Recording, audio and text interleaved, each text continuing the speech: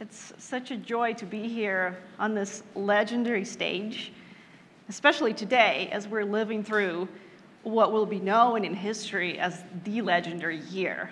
The year AGI fell off the hype cycle. No, no, no.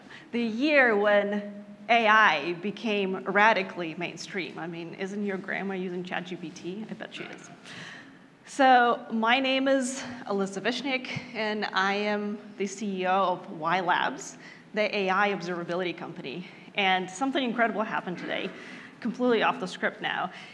This is the first time I'm speaking on stage after somebody who already defined observability for me. Thank you, Anupam. It's amazing how we are all in sync about what's important, uh, what we have to pay attention to in order to get AI to become useful and to make the positive impact. Um, my specialty is building tools for robust and responsible AI adoption, and for the past decade, which is forever, uh, I've been focusing on the tool chain that is important for AI applications once they are deployed to production. And unsurprisingly, I'm super passionate about observability. And I hope that by the end of my talk, um, 19 more minutes, you are as passionate as me about observability. And if not, you're at least really well informed. So AI is everywhere in the past decade, it went from something we read about in research papers to something we interact with every single day. In fact, I'm a bit of a statistics nerd, so I've been estimating that any one of you on any given day has about 100 AI-powered experiences per hour, which is mind-boggling. And thanks to all the amazing work that the people in this room and the people who are listening online are doing, this number is increasing. You interact with AI every time you unlock your phone, uh, you interact with AI every time you read an email, every time you browse a website. And as we're bringing more and more AI experiences to the edge of our, of our physical world, AI is impacting everything about our life, including our health. And as Steve was saying, we wake up every morning with the dream of making AI more useful, making AI help us become more productive, become healthier. And that's amazing. It drives every one of us. However, there's still challenges, and I'm, i tend to be a bit of a naysayer because you know I work, I work on AI in production once it's already there in the wild. So what are these challenges? Well, it starts with how we build AI, and this is a very simple, oversimplified AI lifecycle. And it starts with us collecting the data and cleaning the data, and then designing the model, training the model, optimizing this model for our favorite environment for the device where it's going to be deployed. And then we typically monitor for the performance of this model. And the performance of this model, um, just like we were talking about earlier, it's just a bunch of numbers, as Pete was pointing out. It's just you know, statistics, it's probabilities. It's not particularly relevant to how your user is experiencing the AI-powered uh, application. And there are a number of problems with this process, and anybody who's gotten a model to production knows that this process is long and has a really high probability of failure and notoriously has a very low ROI. And there are a few reasons why. First of all, this is a discrete process. I mean, no software process has a beginning and an end like this. You don't just you know, build the application and you're done and you move on to the next thing. And the second problem with this thing is that there are no feedback loops. That's where observability becomes very handy. So as Anupam pointed out, observability is a property of a software system. Basically what it means is that you can look at the outputs that your system is generating and understand whether the system is healthy, whether the system is useful to your end user. So when it comes to AI, observability is all this data, rich data, that describes how your model is doing in the wild, in production. How is it impacting your users? And model performance here is a great stepping stone to be better, to have those feedback loops. But it's not enough because when you're monitoring the model performance, you have to define, you have to enumerate what are you monitoring for? What is the metrics that you're capturing? What are your thresholds? And AI systems are too complex to be able to enumerate all of the things that you care about and all of the things that could go wrong so you can measure them. In fact, um, my favorite thing to talk about is actually the complexities, the complexities of how AI can go wrong, because as we're building this, these are the most important things for us to think about. And I lean on the incredible researchers. Uh, so I'm going to present a handful of complexities of how AI can go wrong through the research of three incredible, uh, three incredible scientists who have been named uh, the most influential people in AI this year by Time. Uh, first off, oops, wrong button. Uh, first off is Dr. Emily Bender. And she has been making the idea of AI limitations very accessible for the entire decade. And if you don't know her, please Google her. She coined a very famous term, uh, stochastic parrots, which is how she describes AI. And I love this uh, because I have a pet parrot, a talking pet parrot.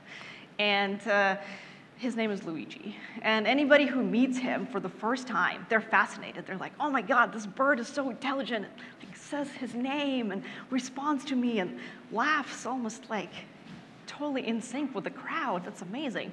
But as you start interacting with him and introduce him to situations that he has not mastered, you realize that, you know, whenever he doesn't know what to say, he just responds with a random phrase. And that's exactly how ChatGPT works. Uh, I'm sure you've already experienced that.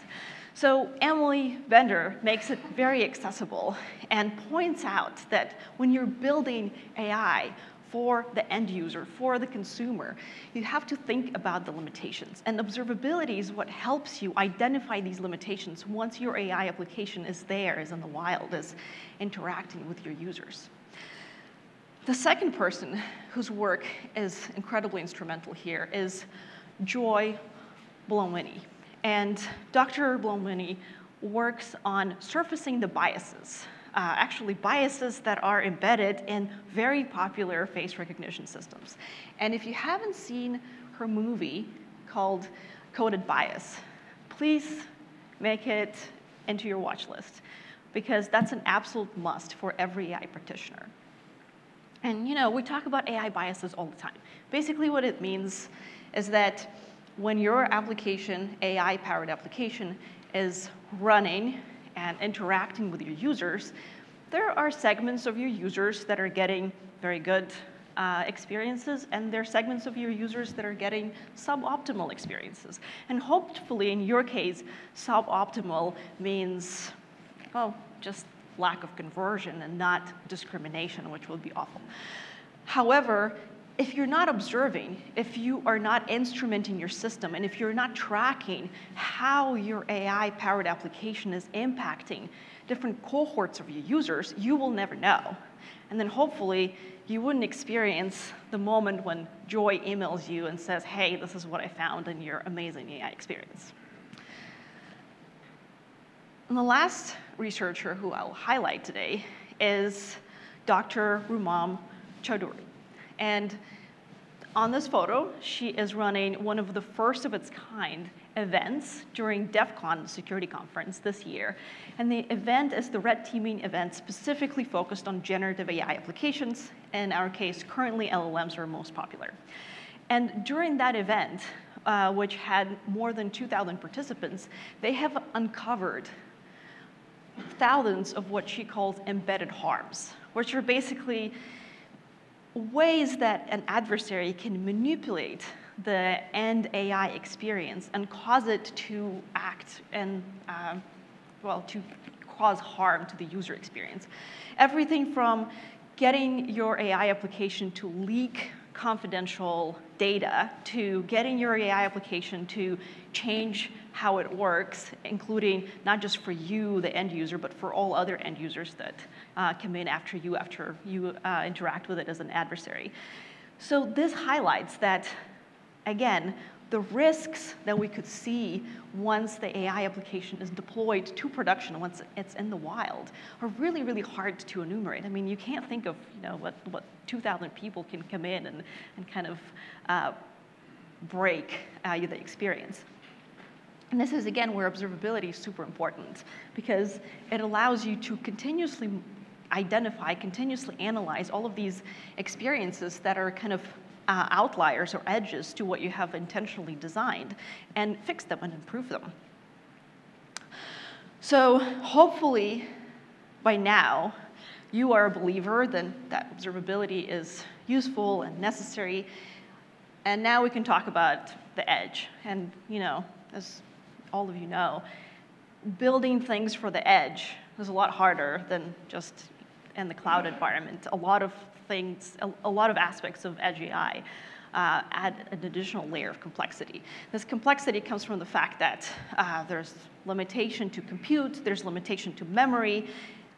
Also, it's very hard to get the data off the devices and to ship changes to the devices. It takes many, many years to develop a beautiful device, as Steve was sharing with us. And then if you are not investing into that data collection that Steve was highlighting. It's really, really hard to retrofit that. And at WhyLabs, we work with customers from you know, the household names like Square and Glassdoor to AI for startups. And recently, we worked with a customer who had a fleet of devices deployed. And the devices, were, the devices are running computer vision uh, algorithms to do object detection. And they wanted to enable observability. They wanted to start gathering that signal that would help them improve the user experience because the end user experience was not working out well. So we started working with them, and what we realized is that in order to retrofit this data gathering exercise from their devices, it would take us about six months of working together, which is a really long time. I mean, like six months ago, we didn't even have ChatGPT. Can you imagine that? Um, so retrofitting that is really, really hard. And that's the first insight uh, to think about. And as Steve was highlighting, this data gathering exercise, this ability to gather the signals about how your AI is performing, is not only critical to make sure that your ex the experiences that you're building are not biased and are not creating security loopholes. It's also a competitive advantage. It's your way to make sure that you're continuously building better AI applications. So through working with this customer, uh, I've identified three more non-obvious things about you know, how do you get observability to the edge devices? And I would like to share them. The first one is about gathering signal and instrumenting every single layer of your uh, edge AI application. And that starts from, you know, your sensors, your hardware, your operating system, and your software system. Through this experience working with the customer, we have identified that model performance was suffering in cases where the drivers were outdated and the devices that they were deploying to. And they did not anticipate that their customers are going to have all these outdated drivers. And that hindered the model performance. That was really hard to debug. We've also identified that the sensors were configured differently. And with these different configurations, the performance is not uh, exactly as they, they were anticipating, the performance degrades. And the third thing that was surprising is that the operators that operate these devices could operate them not how you expected. Um, you know, the, for example, operators of handheld ultrasound devices, they could use them anywhere on your body, not just on your wrist as you designed. So it's very important to gather that signal from every layer of your application to understand how every layer impacts your end experience. The second insight is that you have to care about the end user experience. How does the end user respond to your AI application? Your model performance could be perfect, but nobody's using the application, or they use it once and then they leave. So tracking that and constantly monitoring that and watching that in alignment with all other signaling about your application is absolutely critical to understand whether what you build is useful does anybody care about this really expensive and really wonderful AI model.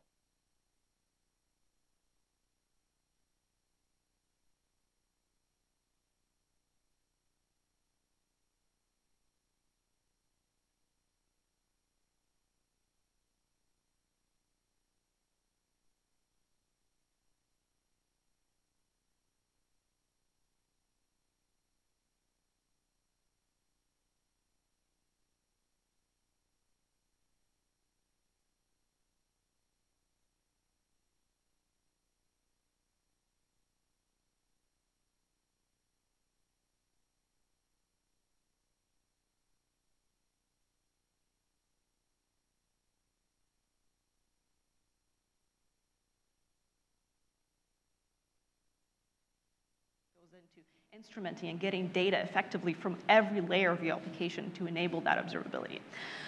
So investing into your development platform, investing into your data platform is something that you have to do early on because there's a lot of configuration that will have to go in in order for you to start enabling observability and start creating these feedback loops.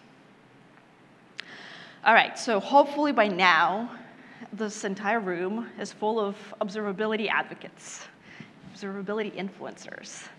And so far, everything I've told you makes you feel like observability is a huge endeavor. But it doesn't have to be, because you can do something today. And there are three things that you can do, actually. The first thing is you can start facilitating the culture of responsibility, the culture of robust and responsible AI adoption. And it's very easy to do that because I gave you three examples that you can follow, uh, three amazing researchers whose work uh, can be shared. Uh, it's really well vetted and really reliable. So that's where you start. The second thing you can do is ask your team just one question. Who is observing our AI system? Whether it's already in production or not, who's observing? And oh, probably they'll be a bit perplexed in the beginning. But this question really surfaces one very important insight. Because if the answer to this question is, we don't know, or nobody, that means that your customer is observing. That means that you're going to be learning about all of the issues with your AI system directly from your end user about the biases, about the security loopholes, about how annoying certain experiences are, and that's very undesirable. So that's a big question to ask, and that is what's going to get you on the path to ask the next set of questions. And lastly, what you can do is start investing into the tools ecosystem. So we've spoken about ecosystem a lot today.